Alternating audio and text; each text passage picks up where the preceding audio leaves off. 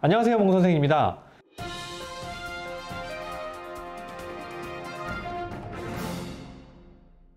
싱가포르에서 한국인 거주자들에 대한 입국 금지 조치가 시행된 가운데 한국인들에게 큰 피해가 예상되는데요. 자, 현재 유학을 준비 중인 학생들이나 혹은 재학생들에게 어떠한 영향이 미치는지 살펴보도록 하겠습니다.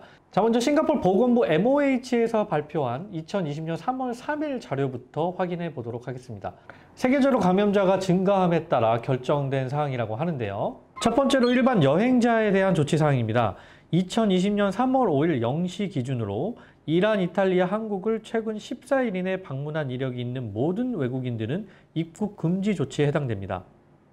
특정적으로 한국인을 입국 금지시키는 것이 아니라 한국에 거주하고 있는 사람들을 의미합니다. 자, 입국 금지에 해당하지 않는 타국가에 거주하고 있는 한국인의 경우 입국이 가능합니다. 그 외에 한국에 거주하고 있는 상태라면 싱가포르의 입국이 전면 금지됩니다. 자, 두 번째로 학생 비자, 취업 비자 및 동반 비자 등 체류 비자 소지자의 경우입니다.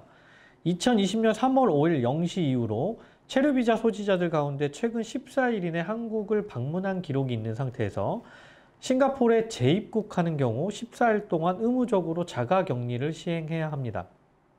자, 현재 싱가포르에서 유학 혹은 취업 활동하고 있는 한국인들 중에서 현재 자신이 한국에 거주하고 있다면 이 내용 꼭 참고해 주시길 바라겠습니다.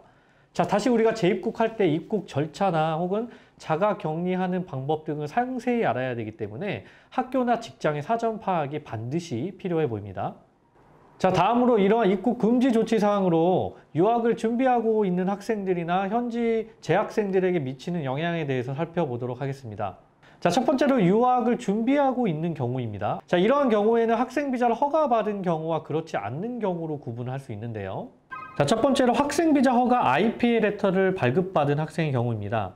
싱가포르 입국이 가능하지만 도착 후 14일 동안의 자가 격리가 진행됩니다. 학기를 연장할지 아니면 자가 격리를 하고 그대로 떠날 것인지에 대한 고민이 많을 텐데요. 자가 격리가 시행되면 외부 활동이 불가능하기 때문에 현재 수속 중의 학교 및 기숙사의 관리 체계를 꼭 확인해야 됩니다. 싱가폴 도착 후 이동 방법이나 식사 문제, 기숙사 사용 인원 등 관리 체계가 잘 구성되어 있다면 자가 격리를 수용해도 괜찮겠지만 그렇지 않은 경우 반드시 학기 연장하는 것이 바람직합니다. 자, 제가 확인해 본 바로는 일부 학교들은 아직도 자가 격리에 대한 명확한 계획이 없는 것으로 보이고요. 기숙사들은 한국인 예약을 받아주지 않거나 호텔들은 아예 일방적으로 취소하는 곳들도 발생되고 있는 상황입니다. 예외적으로 룸렌트를 하거나 혹은 친척 및 지인 집에 거주하는 경우에는 자가 격리하는데 별다른 문제가 없기 때문에 그대로 유학을 가는 것을 권장드리고 있습니다.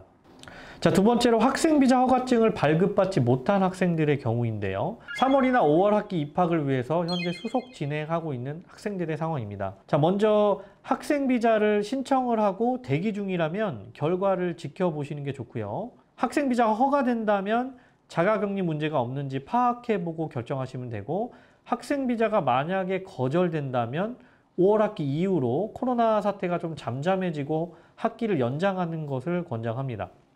자, 마지막으로 아직 입학 수속을 하지 않고 6월 이후 떠날 계획인 학생들의 경우에는요, 몽선생에서 안내해드린 상황을 지속적으로 체크해 주시기를 바라겠고요. 저의 개인적인 생각으로는 5월, 6월 정도면 상황이 좀 진정되지 않을까 라고 예상을 하고 있습니다. 뭐 언젠가 사실 풀릴 문제이기 때문에 너무 겁먹거나 당황하지 마시고요. 현재 하고 있는 영어 공부, 유학 준비에 충실하시길 바라겠습니다. 자, 다음으로 현지 재학생들에게 미치는 영향 살펴보도록 하겠습니다.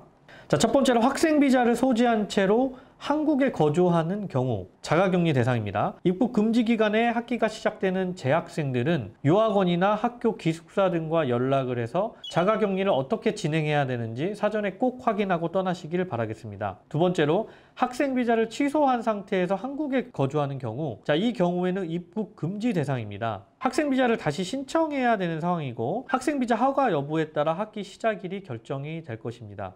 코로나 사태로 인해 학생 비자가 거절될 확률이 있고요. 강제 휴학이 될 소지가 보입니다. 자, 세 번째로 싱가포르에 거주하고 있는 재학생들의 경우인데요. 이러한 재학생의 경우 한국 거주자의 입국 금지가 해제될 때까지는 가급적 싱가포르에서 거주할 것을 권장합니다. 싱가포르에서 계속 학업을 이어가려면 현지에서 가급적 비자를 취소하지 않고 연장하는 방면으로 진행하는 것이 좋습니다.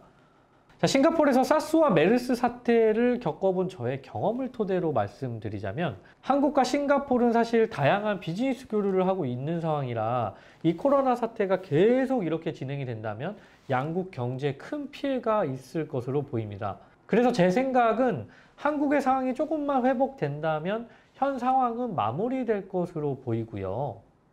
자, 현재 싱가포르에서 거주하고 있는 유학생분들이나 혹은 떠나려고 준비하고 있는 학생들 정말 궁금한 게 많을 거예요. 자, 제가 이 영상에서 그 질문들에 대한 답변을 드리면 좋겠지만 사실 너무 내용이 많기 때문에 댓글을 쫙 남겨주시면 제가 상황에 맞게 답변 드리겠습니다. 자, 다만 앞으로 한국의 코로나 현황에 따라 뭐 자신의 상황이 매우 달라질 수 있기 때문에 제가 드리는 조언은 참고만 하시길 바라겠습니다. 자, 지금까지 싱가포르 코로나 바이러스에 관련된 영상이었고요. 도움 되셨기를 바라며 저 유튜브 좋아요 꾹꾹 눌러주시고 구독해 주시길 바라겠습니다.